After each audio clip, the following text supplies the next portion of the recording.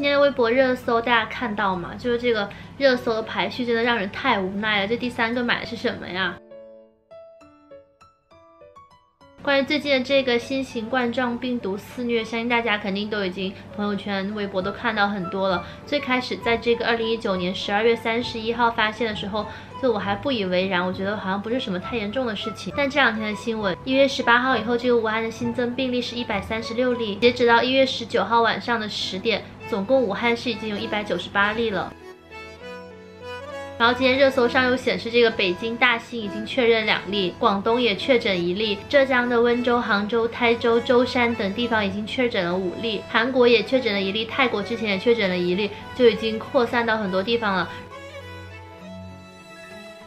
然后这个除了武汉之外，其他省份确诊的这些病例呢，目前都是由武汉。刚回来，比如说去探亲或者去旅游，然后就感染了病毒的。而且马上就要春运了，再过两三天可能就会碰上全国大规模、大范围的一个人口流动。如果不注意预防的话，这个疫情可能会继续扩大。而且大家肯定都不希望自己在春节的时候生病吧？当然，大家也不要过度紧张，因为我看到目前武汉是有一些治愈出院的病例的，因为这个病有轻度、中度还有重症，有一些轻的其实已经治愈出院了。但不管怎么说，肯定都是不要生病的好。所以我今天也是查了很多的资料，就想和大家分享一下如何在。这个春节期间预防这个新型的冠状病毒。如果你已经看到这里，还是希望大家可以认真的看下去，就不要有侥幸心理，不怕一万就怕万一嘛。我相信最开始在武汉就是有这个病情的时候，去武汉旅游或者探亲的人肯定也觉得去一次没关系，结果就不小心的中招了。所以大家还是一定要很谨慎。第一，最重要就是要戴口罩，平常尽量不要去这个客流量或者人特别多的公共场合，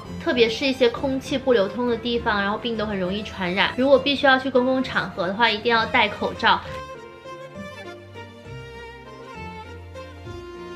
我这里就有一个普通的医用口罩，而且大家戴口罩的时候一定要注意，就是一定要把它的这个折面完全打开，然后摁住鼻夹，把你的这个脸、鼻子、嘴巴还有下巴都要这样遮住才可以。刚才我坐地铁的时候就发现地铁上戴口罩的人比往常的多了一些。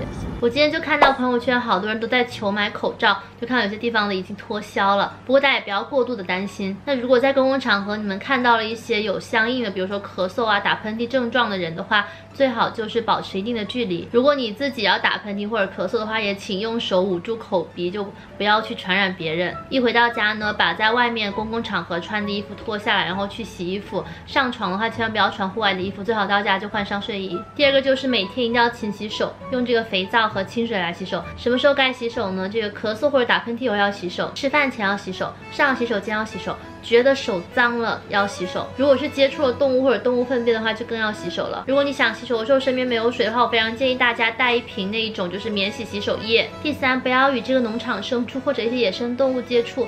记得最开始这个病应该是在武汉的那个华南海鲜市场开始的。然后根据两名这个华南海鲜市场的商户说，就在华南海鲜市场是可以买到各种活的鳄鱼、娃娃鱼、狗、羊、蛇以及一些野鸡、野兔、刺猬等等。所以就是最开始病人是从那里出来的，所以大家尽量不要去接触这些。生动物。第四，如果大家在吃肉类和蛋类的时候，一定要彻底的煮熟，而且就是你们在家里用那种菜板，春节都要做饭做菜嘛，生食和熟食用的菜板一定要分开。在处理生食和熟食之间的时候，一定要记得洗手，洗手多洗手。第五个就是要及时自检，有问题一定要就医。这个新型冠状病毒感染以后，它的主要症状就包括这个咳嗽、发热、呼吸急促、呼吸困难等等。如果你出现了相关的症状，先不要害怕，一定要及时就医，医生肯定会给你最好的解决方。方式，并且这时候你也要让你的亲朋好友、你身边接触的人要戴上口罩，就防止传染给他们。最后呢，马上就要过春节了，希望大家也不要过度的恐慌。这个病毒虽然是新型冠状病毒，然后。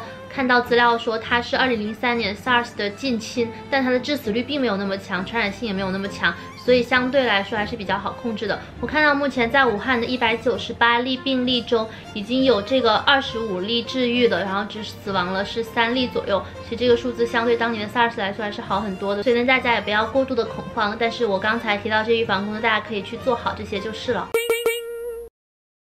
这几天，大家最好也是持续的关注网上的消息，然后关注这个官方，相信专家，相信科学，就不要谣传一些信息，也不要制造这个不必要的恐慌，就是做好预防工作，然后好好的过一个春节，少去人多的地方就好了。最后呢，也祝大家春节快乐，希望你们可以过一个开心快乐的春节，好好享受和家人团聚的时光吧。